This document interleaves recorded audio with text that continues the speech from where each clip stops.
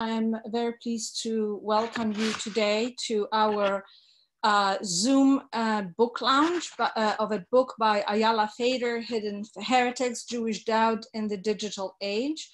As the title suggests, it's in the digital age. So uh, I, uh, it is probably not surprising we are doing it, or maybe not so bad we're doing it on Zoom. Um, so uh, let me introduce Ayala, the speakers, and then we'll ha uh, I'll ha uh, hand it over to them. So Ayala Fader received her PhD from NYU and is currently professor of anthropology at Fordham University. She's the author of the award-winning book, Mitzvah Girls, Bringing Up the Next Generation of Hasidic Jews in Brooklyn, which was published by Princeton University Press in 2009, and uh, she won the National Jewish Book Award for that book. Her recent fellowships include the National Science Foundation and the National Endowment for the Humanities. In support of her latest book, uh, which we're discussing today, Hidden Heretics, Jewish Doubt in the Digital Age. Ayala Fader is the co-founder and co-convener of the new uh, of the New York uh, Working Group, on Jewish Orthodoxies at Fordham Center for Jewish Studies. Her um, uh, interlocutor is um, uh, Professor Robert Orsi, who is the Grace Craddock uh, Nagle Chair of Catholic Studies at Northwestern University where he's also professor of Jewish, of, I'm sorry, of religious studies, history and American studies. Professor Orsi studies modern and contemporary religion with a special focus on Catholic practices and ideas from both historical and ethnographic perspectives. He also researches and writes on theory and method on the study of religion. He's a member of American Academy of Arts and Sciences and has been recipient of, recipient of fellowships from the NEH to the Guggenheim. His books include Madonna of 115th Street, Faith and Community in Italian Harlem, 1880, uh, 1959. Thank You, St. Jude, Women's Devotion to the Patron Saint of Hopeless Causes, and Between Heaven and Earth, Religious Worlds, uh, People Make Up, and Scholars Who Study Them. His most recent book is History and Presence, which was published by Belknap of Harvard University Press in 2016. So I hope you'll, jo uh, you'll join us also for other events, and I'm now handing it over to our, uh, our speakers. Thank you.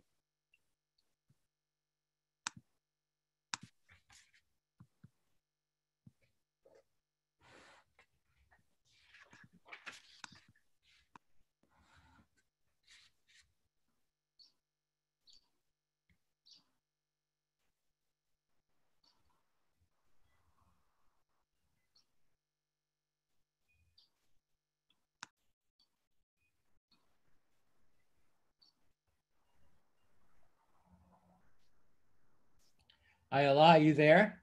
Uh, yeah, I am. Can you hear me? I can hear you, but I can't see anything. Is this going Hold to be? Hold on. Now I'm on. Okay. Okay. Can you see me? Yes, you can. But you can't see me. No, we can't see you. You have to un. un I can't. You oh, have I have to. I'm sorry. Wait. Magda, can you help us do that? Hold on. I think I can undo it. Uh, You're the host now, so yeah. yeah I'm going to make you the host too, and um, you can unmute yourself. You can make your picture. Great. Good. Okay. Great. All right. Technical difficulties aside, Bob, it's nice to see you.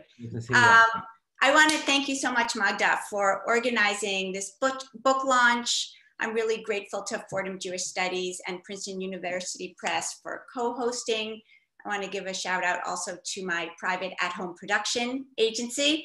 Um, I'm so thrilled to have Bob Orsi joining me, um, whose work has really inspired my own.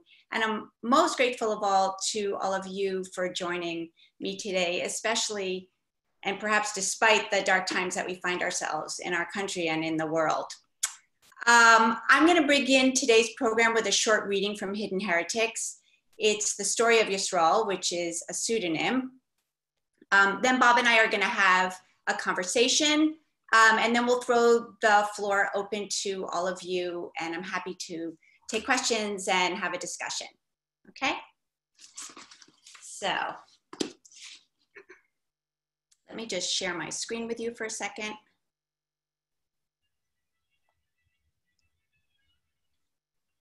Oh, now I have to be the host. Can you make me the host, Bob?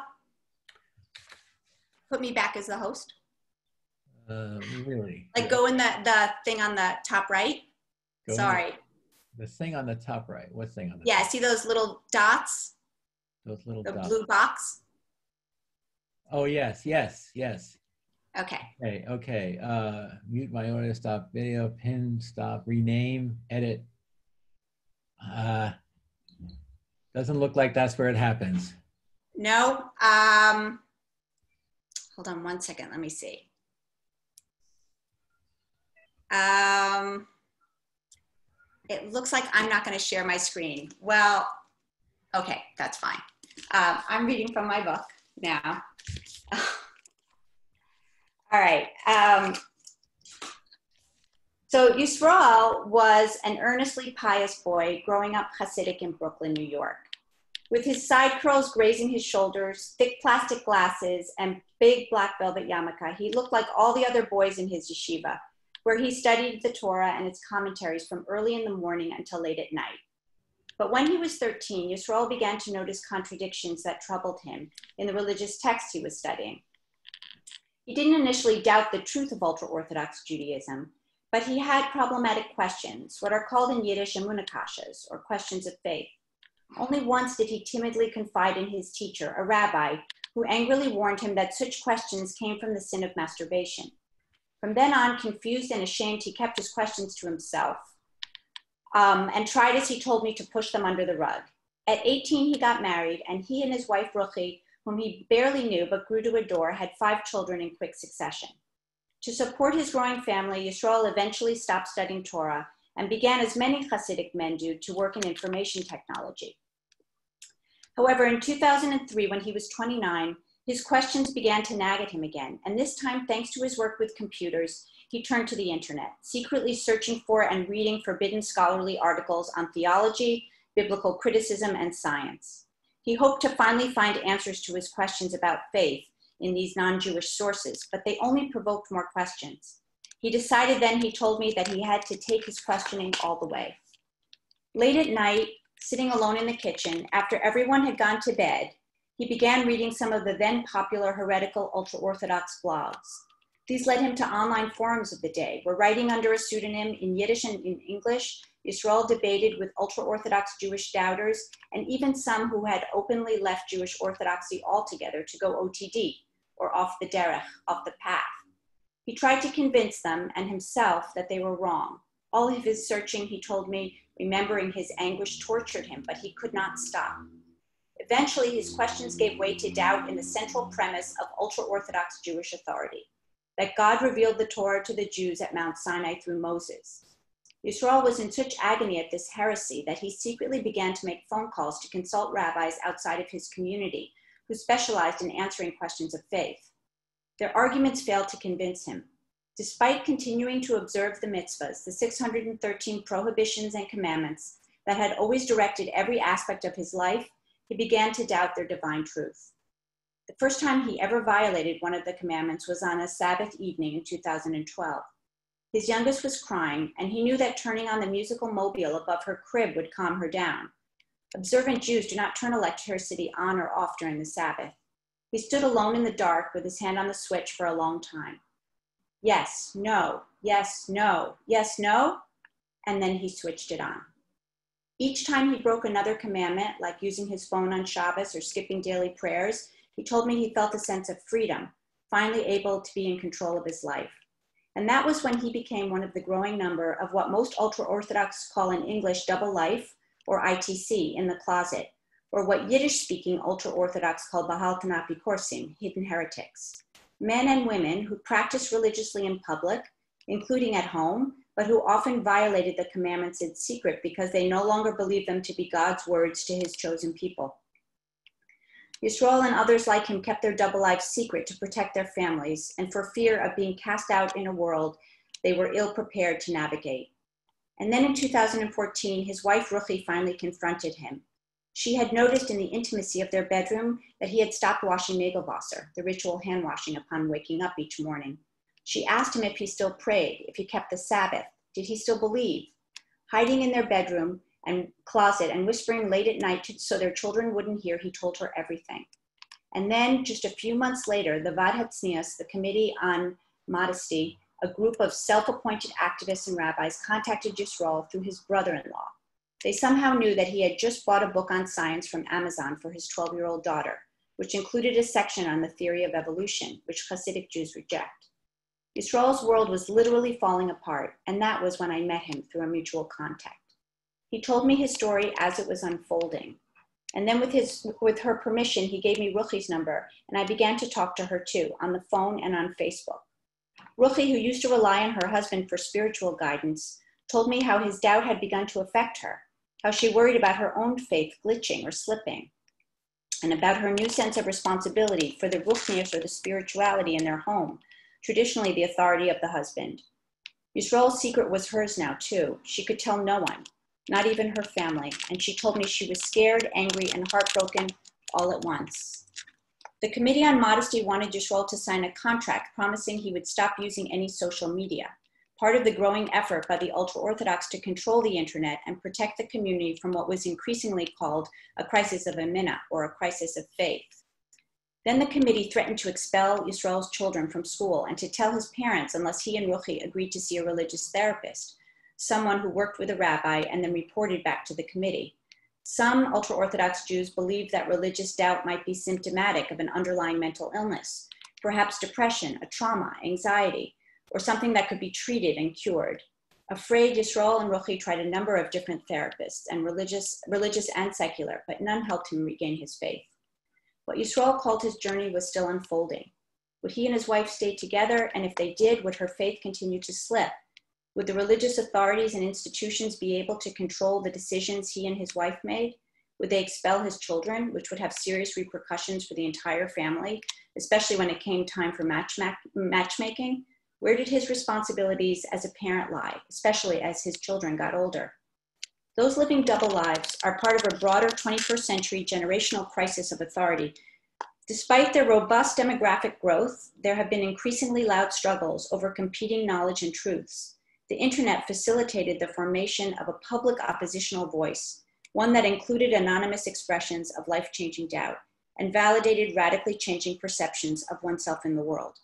Gender was key to the experience of and possibilities for living double lives since gender structures authority in both ultra Orthodox life and its alternative public. Begun in online spaces, but soon crossing over to meetings in person, this alternative public gave a platform to dangerous questions. Who should have the authority for making life choices? What and who defined Orthodox Judaism, or self fulfillment, or an ethical life? The pages ahead ask what double lifers' everyday struggles can tell us about religious doubt and social change in the digital age. Thank you.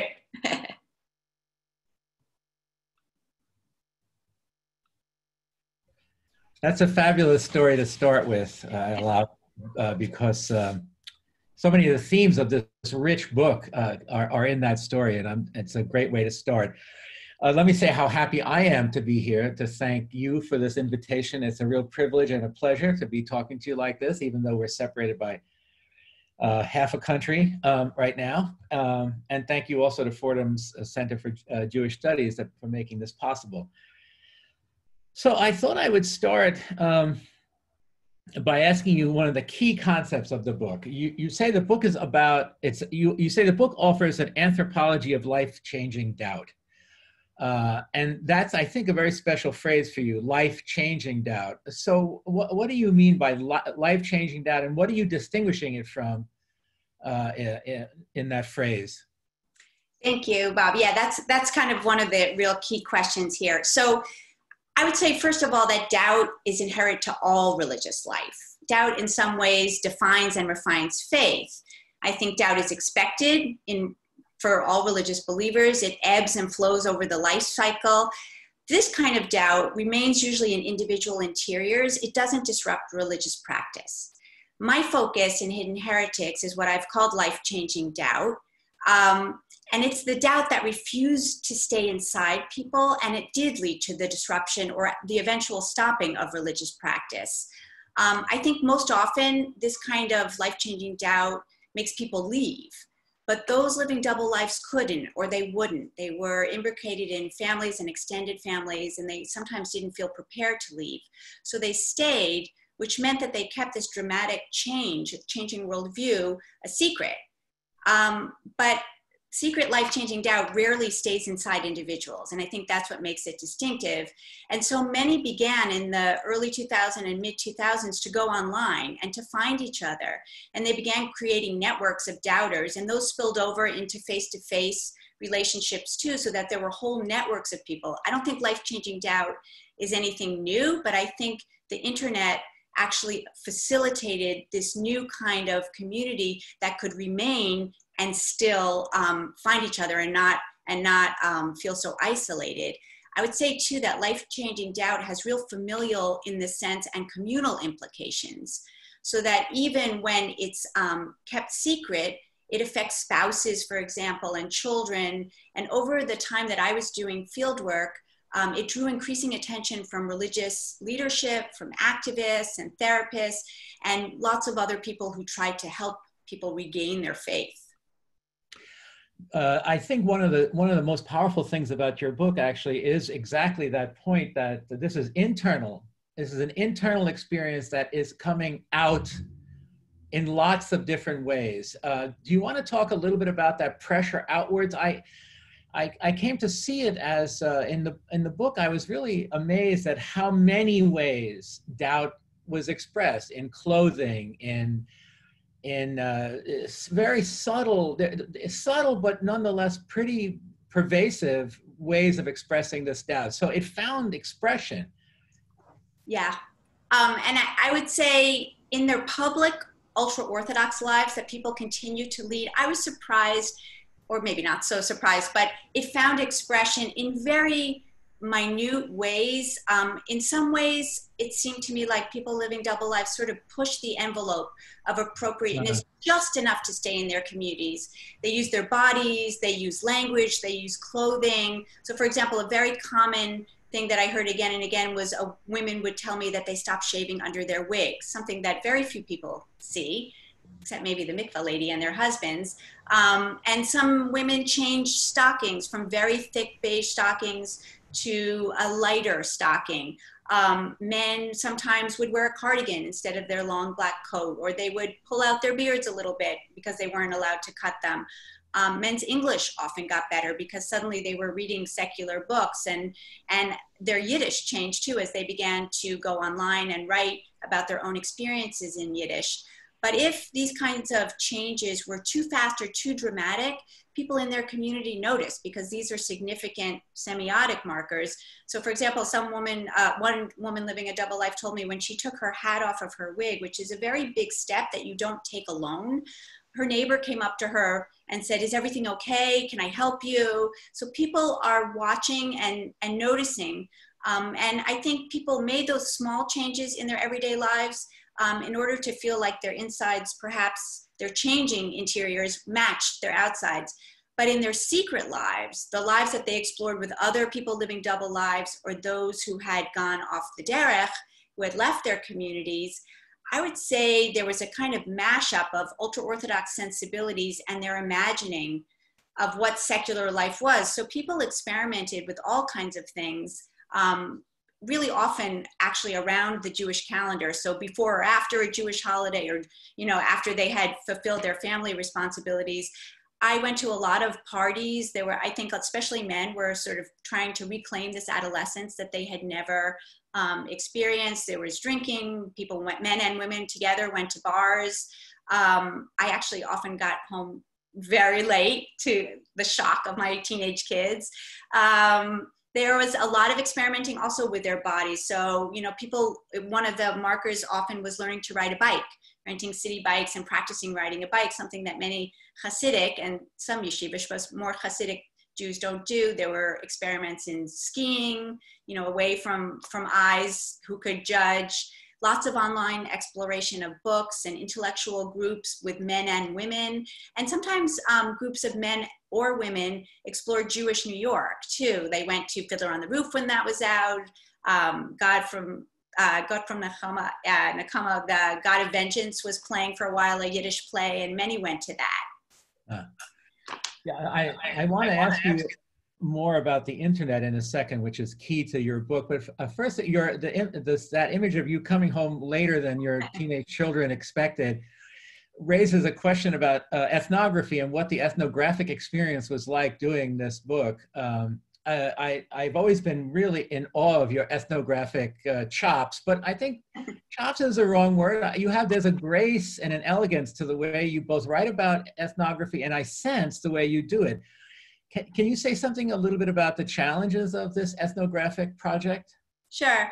Um, yeah, this ethnographic project, which in some ways is a kind of continuation of my interest in ultra orthodoxy, was really different from my first project. In my first project, I talked really exclusively to women and girls, um, and maybe little boys too. But in this project, I found myself talking to a lot of men, which was interesting and um, took me took me a little while to get used to.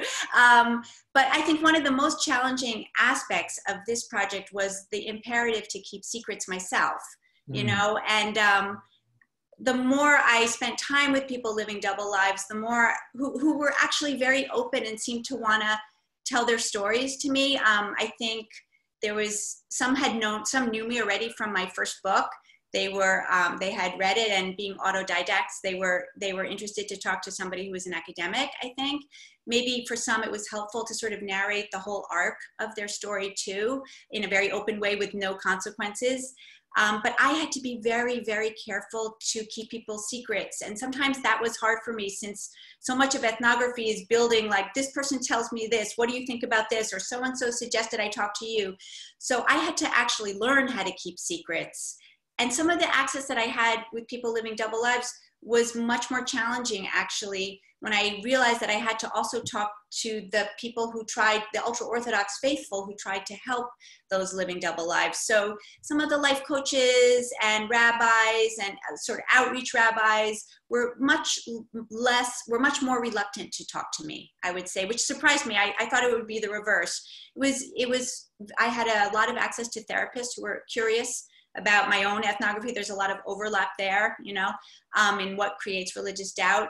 But um, I would say it was especially challenging to find public, to find places where I could do participant observation.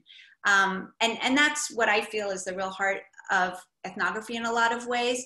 But because so many of the activities that people were doing were secret and online, I had to find spaces where I could move beyond interviews. So I started with interviews actually, and that was the way that I tried to build trust. Once in a while, I made mistakes and and didn't keep people's secrets as well as I should, and I had to to learn from those errors. Mm-hmm. Um, but eventually, people began inviting me to um, events that I could join. And that's, I think, where you get a lot of parallels between what people are saying and what they're doing, which is what ethnography is all about. Uh, there's so many there's so many rich uh, topics to explore here, but I, I want to get right away to the internet before uh, I'm trying to keep track of our time. Yes. Uh, people go off the derech uh, and onto the internet, it seems, or somewhere along the line onto the internet is almost as important. I was really struck. I have to say, I was pretty surprised by the idea that seems current, uh, at least among those in among the ultra orthodox who are most anxious about the internet, that the fra- the idea that the internet is more dangerous uh, than the Holocaust is is really a striking observation. Can, can you say something about? I guess one question I would ask is: Do you think what do you think the role of the internet is in radical doubt? Does it cause it? Does it exacerbate it? What what what is the internet and radical doubt? Yeah. Um, so I would say I would begin by saying, in general, the ultra orthodox have not really been don't really reject new technologies out of hand. That hasn't been what they do since they came at least after World War II. As long as they could redeem a new medium or a new technology by infusing it with Jewish content or Jewish form. So, for example, cassettes, when they first came out, cassette tapes, if everyone remembers what those are, were not very kosher at first, but now they're incredibly kosher because they've been infused with lots of Jewish content. TV was much more difficult to control, and so that was censored. But of course, the internet can't be censored because so many businesses rely on that and it really organizes contemporary life. So, what I think is that the internet really over this past decade, um, because before this past decade, the internet was not taken quite so seriously. And I think it's this past decade that it somehow became a flashpoint for, um, for a wider crisis of authority, which is really about political leadership and economic challenges and a generational tension too, um, who don't want to live by such stringent interpretations of Jewish law. So the book actually toggles back and forth between different perspectives on the internet, and I think that's really important and how those change over time.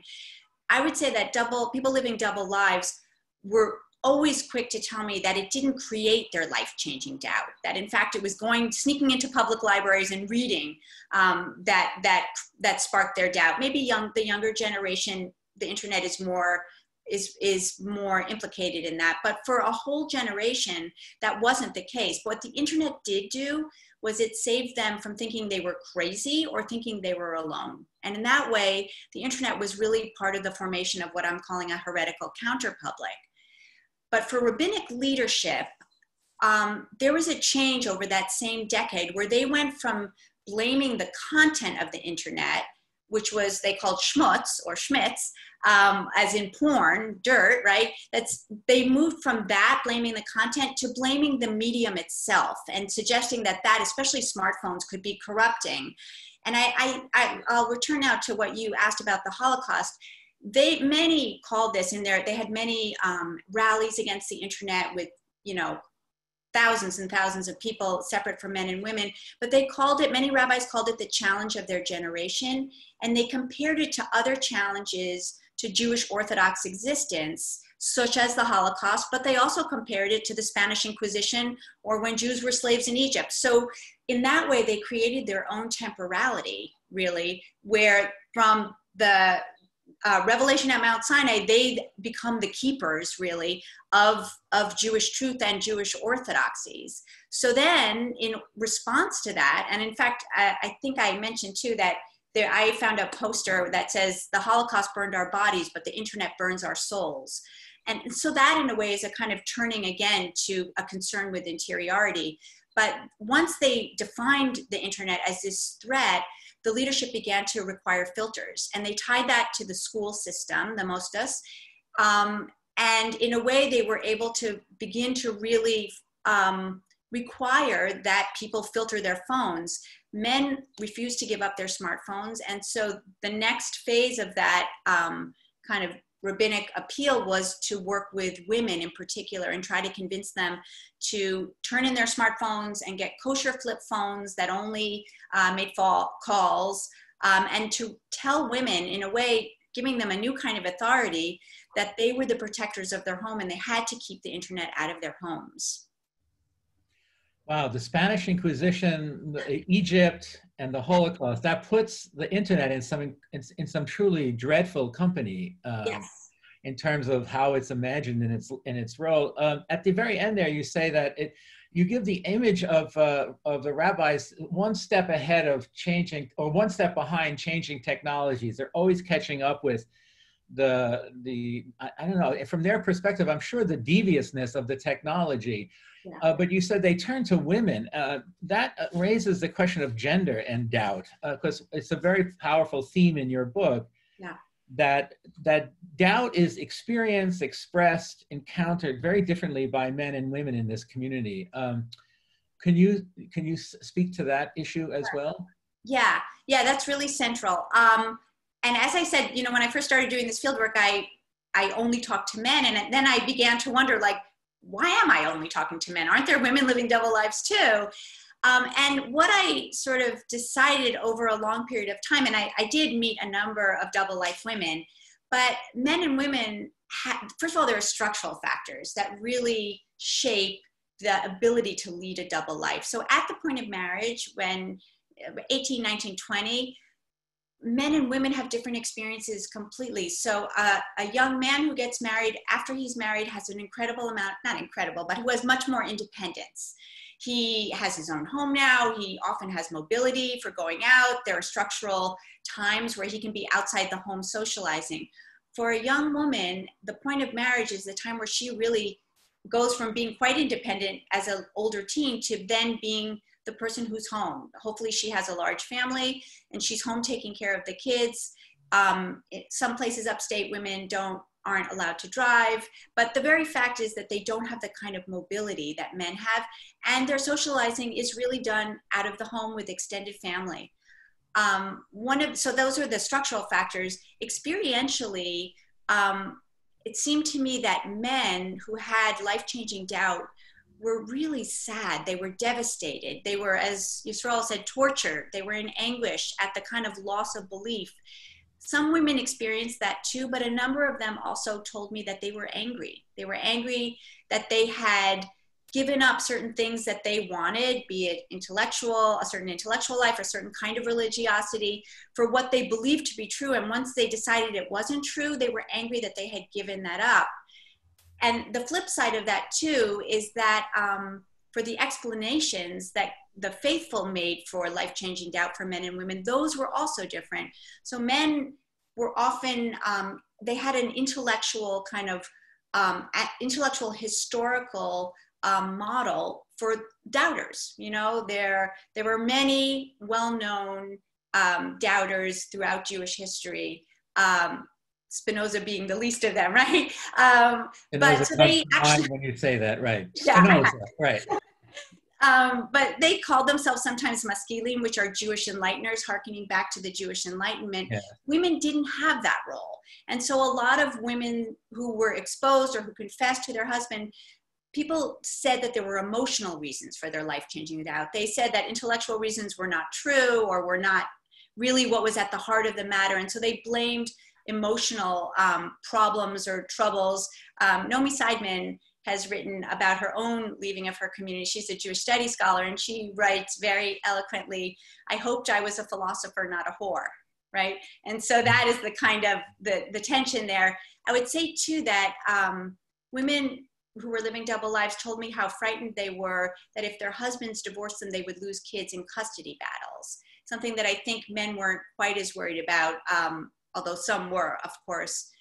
And then for the still religious spouses, um, I think some of the consequences were more difficult for women too, if they were the still religious spouses, because they had to suddenly become the religious authorities in their homes. And that wasn't something that many of them welcomed. And as Ruchi did, um, they had to keep their husband's secrets and lie for them too your story about women, you're uh, mentioning women fearful that they would lose custody, really underscores the cost of doubting. I, I, I don't mean to. Uh, it would be a it would be a misrepresentation, I think, of modernity to say that doubt is easy anywhere. I mean, I think in evangelical Christian communities, in Catholic communities, you know, whatever communities, doubt is a hard thing, and but I was struck as I read you by the very, very, I mean, Spinoza's a, I guess, uh, Spinoza's life story is a kind of precursor of this, but the very serious consequences of doubting, including, and I, and one of the things you're so careful about is to show how over time the community's interpretation of doubt changes. So it goes from immorality to almost insanity. Uh, um, but among the among the terrible costs of doubt is in fact the danger of being designated mentally sick. Yeah um, it's interesting because in some ways um, in some ways that's that's better to be designated having emotional troubles because for both the person doubting although not experiencing that obviously but for the person doubting and for the extended families because that is an excuse that has a biological explanation. It's not a Uh-huh. spiritual It's not- explanation. Or ethical, right? Yeah, yeah, more ethical. And I think um, I think in some ways, and it's definitely not all communities who who go toward um, blaming mental health issues. But I will say that I think having that life kind of life changing doubt is actually a trauma to a person, and it wouldn't be surprising for someone to feel depressed and anxious and and actually have a hard time um, you know, getting through everyday life because that is a trauma and keeping those secrets are a real burden too. And the kind of ethical struggles that people went through were so painful that there are also mental health issues. And many people told me that it was really helpful for them once they found a good Mhm. therapist, religious or secular, it could be very, very helpful for them when they negotiated with their still religious spouse, for example, when they had family therapy, um, and so a good therapist was often um, something that was shared among people living double lives too. There are some therapists, I think, and I, it's again, few, but I heard it repeated enough times that there were some therapists who were perhaps too invested in keeping people within the fold. And that kind of tension between helping someone or keeping them in, and, and again, it's about personal autonomy in some respects. Mhm. I think that could be really troubling when doubt got pathologized in that ways. But the goal was really to treat what got dragged along with that life-changing doubt, and and therapy was very important in that. Well, one of the things that the medicalization or the psycholo- psychologization of doubt does is it lets it lets community leaders off the hook in a way. It lets the conditions of life in the community Yes. off the hook. And we, you and I have talked about this. It's akin in my mind. The way I read your book, there's a similarity in, say, Catholicism's the, the emphasis within the Catholic hierarchy in the midst of the sexual abuse crisis to locate, uh, uh, to, to render this a psychological uh, crisis, to say that it's the crisis of the pedophile or the, of the uh, of the of the perpetrator, and then of the it's the psychological suffering of the victim. But what that does is it clouds or screens the real life political, social, institutional realities that lead to doubt. Do you, do you think that's a similar? Do you see a, a, that at work in this dynamic as well? I do. And one of the things I saw, I went to uh, a religious therapist conference, which was really interesting. And I actually went to two of them. Well, I would say two things. The first is yes, sometimes that happens where there's, um, a, I called it a triangulation between um, a rabbi deals with ethical issues and moral issues, and a therapist deals with emotional issues. So that kind of splitting, in fact, does in some ways let let religious leaders off the hook because they there's the claim that well there's something mentally wrong with them and not necessarily with the community. And that's what i think a lot of double people living double lives were very critical of because they were making a critique of their own communities. Um, but I, I also saw over time that there were changes to religious therapy and um, there is a small group that is promoting keeping religious keeping ties with children who leave their communities no matter if they do or if they don't. So putting children above religion. Hmm. i also went to um, a conference where one of the therapists who was modern orthodox who wasn't ultra orthodox but was modern orthodox said you know i used to lecture that people who had religious doubt and life-changing doubt and who left had some kind of trauma often sexual abuse or some kind of mental trauma. And he said, Now I don't know if that's true. We just sometimes don't know. Sometimes it doesn't work for someone. So I am hopeful that some of those, um, some of those new changes are going to actually um, perhaps make a difference and make it easier to incorporate a wider range in the in in ultra orthodoxy which is kind of my last question. I, am sure there are many people who have questions and want to talk to you uh, uh, in the audience, wherever the audience is. This is such a strange experience. Uh, and, and uh, I guess uh, I'm wondering if, as I read, as I read about the serious intellectual, moral, domestic struggles and the integrity that your sources struggled with, I mean, I came to admire them a great deal for their integrity and their courage. Uh, I'm wondering if this will change the nature of life more broadly among the ultra Orthodox. If, for example, the question of children who leave, if there'll be a certain I don't, I, want, I don't want to say relaxing, but a loosening of some of the strictures so that there can be other ways of living an ultra Orthodox life. Yeah, I, I do think so. I mean, the the phenomenon of living a double life, there there are very few numbers on that, and I don't know. You know, I was I, was quoted from 100 to 10,000, so that's unclear. I know that that people leaving, like especially uh, teenagers going OTD and people living double lives are a big concern.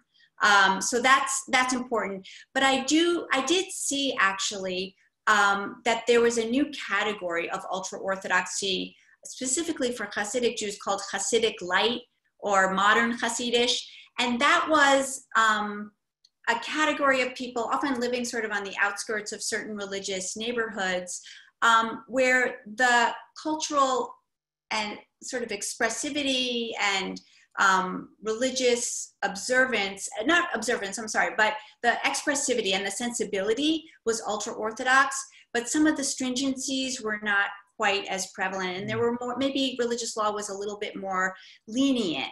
Instead of going to stringency, there was lenience, but but the sense of community and the kind of style was the same. And so it was it was observant but it was a little more flexible. So i too wonder um, and I, I also end the book this way wondering you know maybe maybe in this now fourth and fifth generation of, of ultra orthodox here at least in the states maybe there is a kind of relaxing a little bit not lessening of observance but in terms of who says what observance should be. Hmm, right. Thank you so much. I'm going to stop now and let magda um, uh, who uh, take questions. Is that yes. how it goes? Will it, yes, yes. We'll try to we'll try to take as many questions as possible. Uh, so uh, the first question is about uh, the numbers. Since you're talking about numbers and whether you don't know, so the question is: Deborah Feldman, unorthodox, indicates that perhaps up to 20% of the ultra-orthodox community would leave if they could. 90% of those who leave are men, and the women who leave can only do so as a last resort. Is this your experience? And I think it ties also to, um, to another question about the importance of marriage and keeping children, and, and whether that makes people more or less uh, uh, able to leave uh, married or unmarried. Yeah, I'm going to start with the second part first definitely i think getting married young um, and having children does keep people in the community. I mean the people that i was spending time with didn't want to hurt their families they didn't want to hurt their kids they knew there'd be repercussions. So absolutely that's an important but also i mean part of the goal is to have as many children as you can. So it's not an insidious plot to keep people in it's also that it's a it's a strategy for having big families and keeping orthodoxy going, which they've been doing very well. Um, in terms of numbers, again, I don't know. I heard lots of different numbers and I'm not sure. I know that within the past decade, there's been a lot of communal concern over um, doubt and about the about people leaving. Um, I think interestingly, um, it is more men who leave. Um, I think that's my sense but sometimes women are more prepared to leave in terms of their schooling, which has always been interesting to me because um, not in every community, and where Deborah Feldman is from, perhaps not in Satmar, but in many other communities, um, girls have a much stronger English education uh, secular education more broadly than boys do. And so they are more familiar, they're better English speakers usually, they have more access to secular knowledge. Then again, um, once they have families, it's really, really difficult to leave. Mm-hmm. So the uh, it's it's related to what you you were discussing, but uh, what is the main strategy of the Orthodox to cope with doubt in their community? And it's uh, related. Another question is about the portrayal of doubt in the Netflix series Unon, uh, Unorthodox. So, would you be able to answer those? Sure. Um, the portrayal of doubt um, is diverse, right? Like some um, somebody I spoke to, and I heard this several times, um, said he was talking to a therapist and another person to a rabbi, and both times the the person talking said, Why can't you just keep your doubt to yourself and just keep practicing? Like, just do that. Everybody does that. So I think there is an acknowledgement, and that's the first kind of doubt I talked about. There is an acknowledgement that doubt is just part of religious life. But for most people, that doubt can stay inside and that doubt won't necessarily disrupt practice. I think all of the kinds of it's coming a lot out of the therapeutic framework. There are there are both there's rabbis outreach rabbis who minister to people with doubts, especially young adults.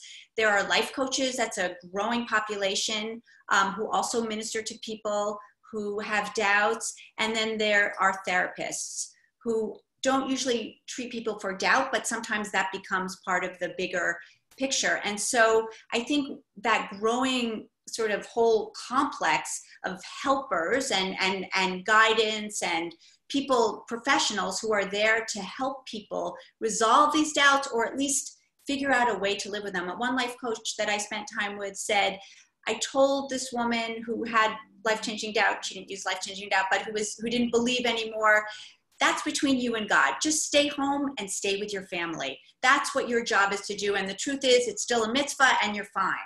So there's a lot of tension around that. And I think it's ultra orthodoxy is kind of struggling with how to deal with that. And what about the portrayal of doubt and the uh, unorthodox, uh, the Netflix series? Yes, um, in unorthodox, um, you have a, a, few different doubters, right?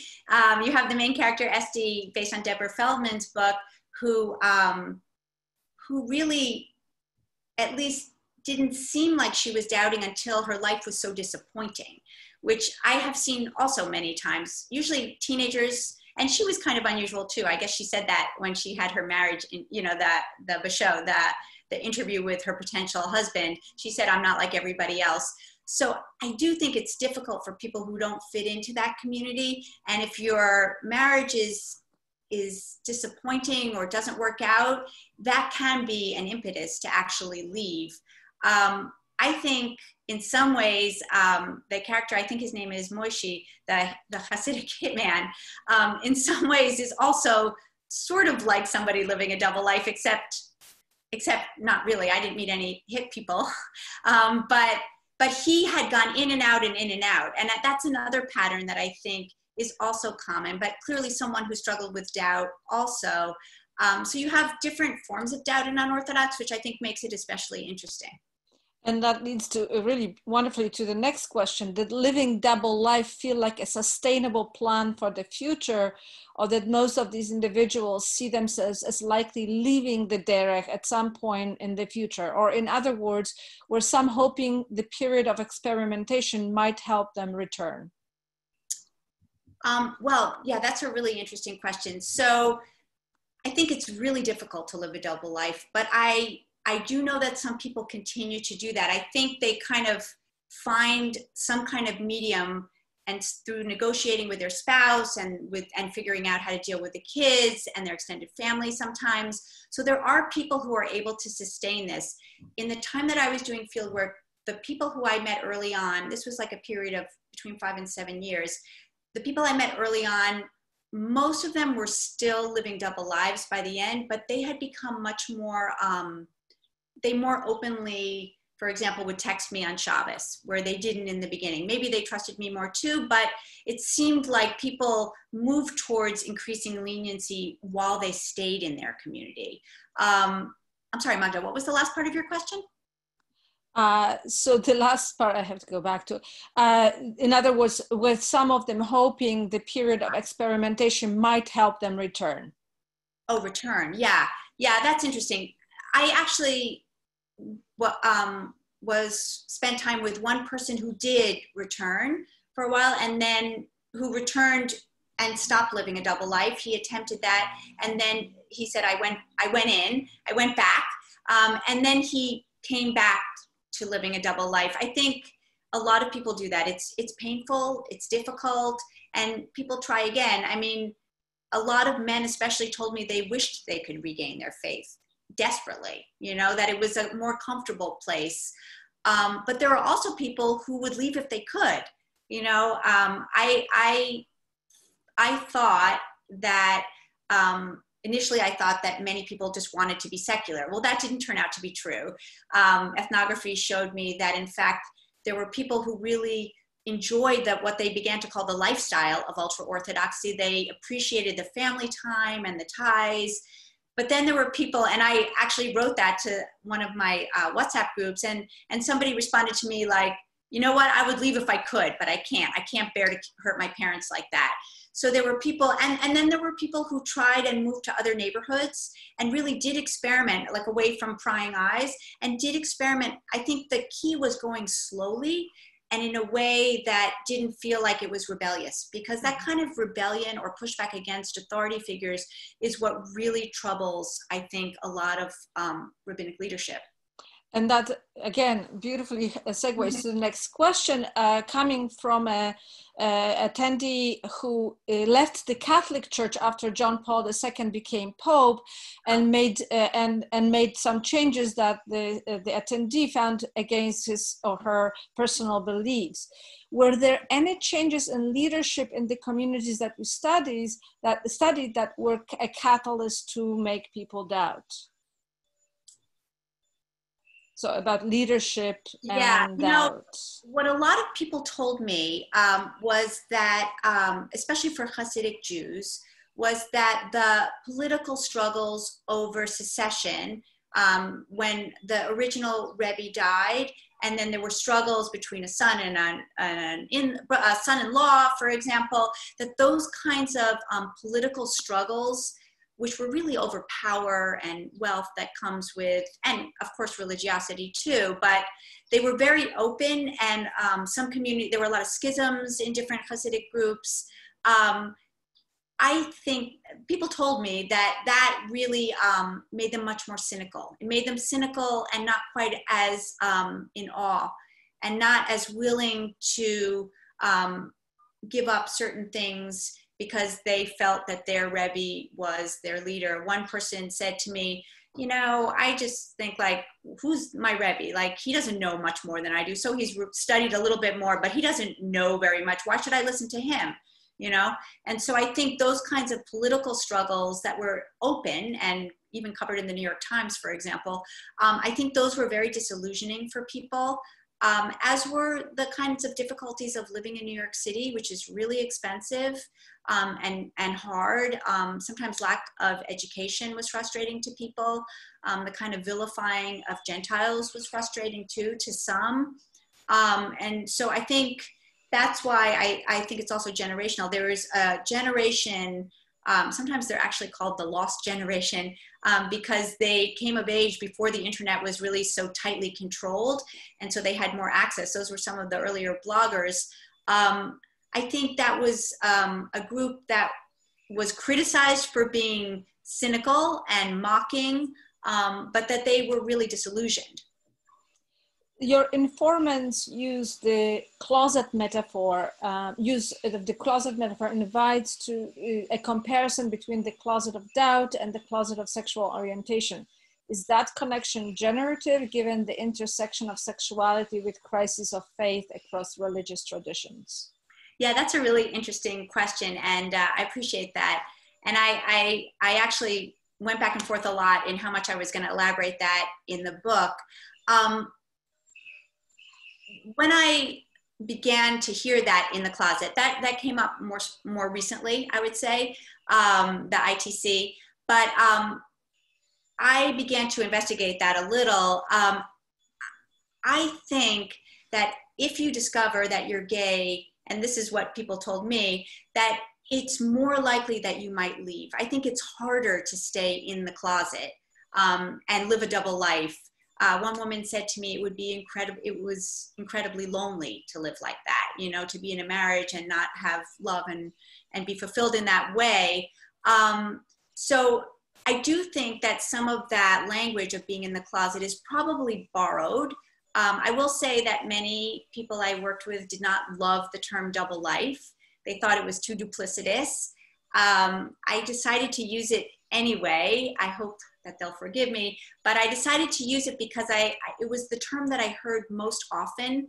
Uh, another term which was really fascinating to me was called reverse Marranos, Um, and that was a, a, very particular group of people who were in the closet. Marrano is, um, a, were Jews uh, during the Spanish Inquisition who pretended to, con- who converted but uh, kept up Jewish uh, rituals secretly. And these people felt that they were the reverse of that, that they were forced to keep orthodoxy and in secret they explored secular life. In, in Israel, I think those same people are called the Anusim, the forced. Um, and so, um, yes, the closet is generative. I don't think it reflects much about sexual orientation. Most of the people that I worked with um, were not queer. And it seemed to me like most of the people who were and had life changing doubt left. I think you discovered that probably earlier, maybe. Um, but yeah.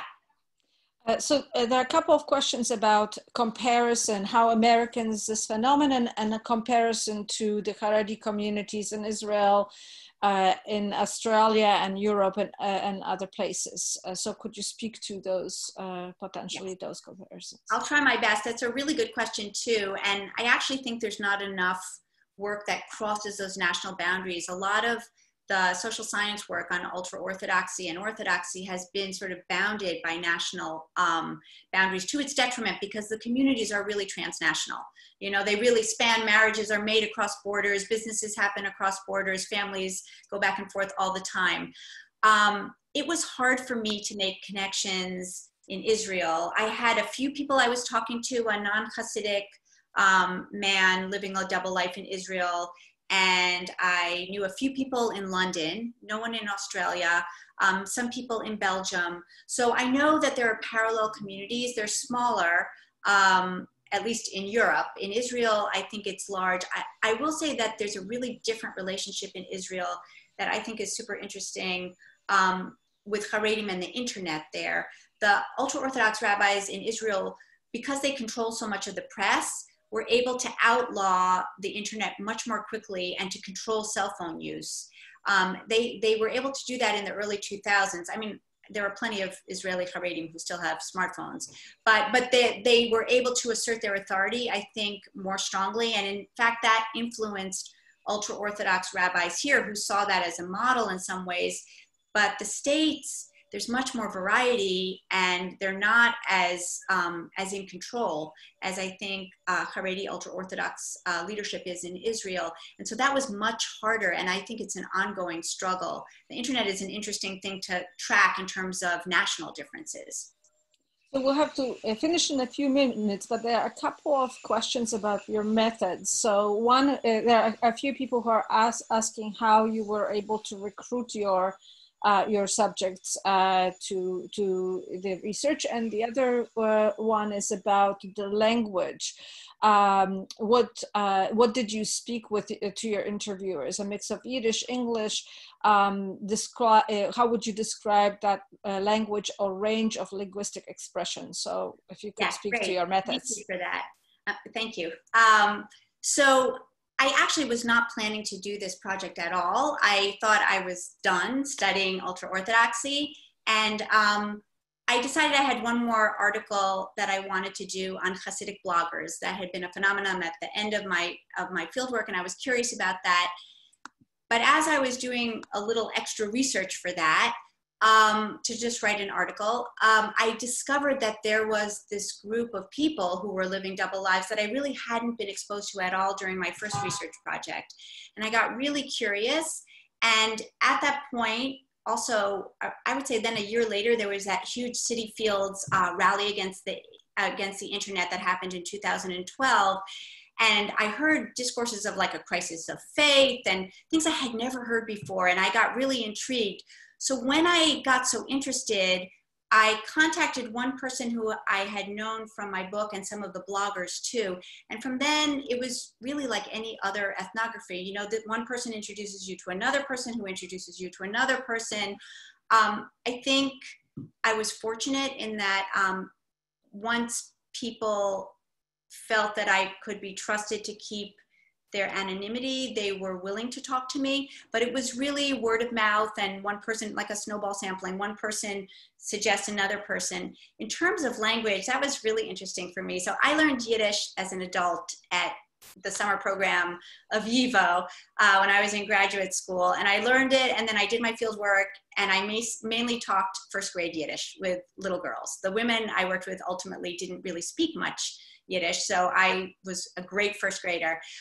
What I had to learn in talking to um, for this project was a, I, I spoke in English with with everybody. Um, you know, everyone is pretty pretty fluent, but I did have to learn a lot of terms that come from Lashon Kodesh, that come from liturgical Hebrew, that I hadn't been exposed to that were religious terms.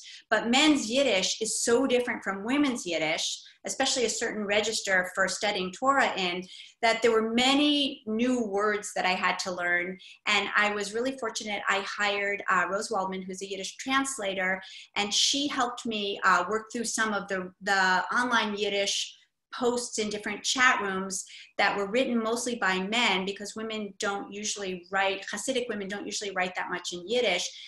A lot of that Yiddish was hard for me. It took me a long time to work through, so I hired her and she helped me translate those. Um, and I had a lot of people at my disposal who were able to help me when I was like, "What is this word? Oh, it's a proclamation in Yiddish." Um, so that I had a, I had to learn a whole new vocabulary and I was, it was much more about reading Yiddish for this project than about speaking it per se. I would say that when people were at parties, when, when Hasidic men were at parties and it had, you know, a few beers, the language reverted to Yiddish often. Um, and that was okay with me, that was fun. But I really spent, for the research part, I really had to read mostly. And that's where I was really fascinated to see that there was an emerging variety of um, what I call enlightened Hasidic Yiddish online, where people are expressing themselves um, in Yiddish, but self-expression and not so much as a, and, and for leisure really you know and writing short stories and poetry. And i think that's a new variety of yiddish that's emerging that is facilitated by the internet Okay, the last question uh, is about, I mean, there are more questions, but we unfortunately won't be able to get to them, but it's about compare, uh, comparing different uh, Haredi groups uh, and whether there are any groups that are more prone to going off the derech, whether uh, there is a place for uh, children of Ba'alat Tshuva, for instance, or other Hasidic groups that are more or less prone to, that you've seen in your research. Yeah, um, this project was different for me too because instead of studying just Hasidic women and their children, and my first book was about Bobover Hasidim in particular, um, I sort of followed people where they went, and I was exposed to both Hasidic ultra Orthodox and what are called yeshiva ultra Orthodox, as well as modern Orthodox therapists. There were many.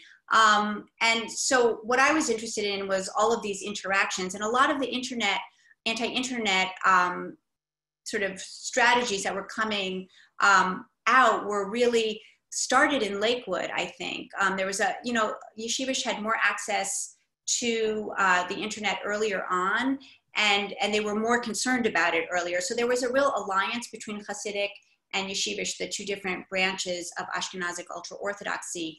Um, I don't really name specific groups in my book, and I do that to maintain people's anonymity. So I am going to uh, not really address that question. Okay, perfect. So uh, I want to thank uh, Ayala and Robert for uh, this wonderful conversation. And um, we Ayala's uh, book is uh, available for sale as of this week, as of Tuesday this week. And uh, we have a, a, code if you order the book from Princeton University Press, uh, there is a 30% off co- uh, code, capital A, capital F, for Ayala Fader, I assume 30 uh, for the percentage. So AF 30, uh, and uh, you will be able to um, to uh, get 30% off the book. So we all look forward to our summer reading. Thank you, Ayala. Thank you, Thank you so much, and thank you, Bob. I really appreciate it. And thanks to all of you for coming out. Thanks.